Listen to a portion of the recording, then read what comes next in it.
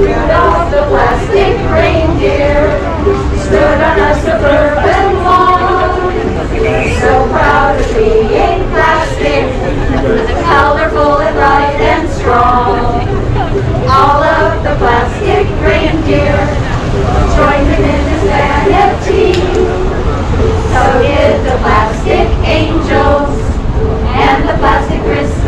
Then one day, a few years hence, they began to fade.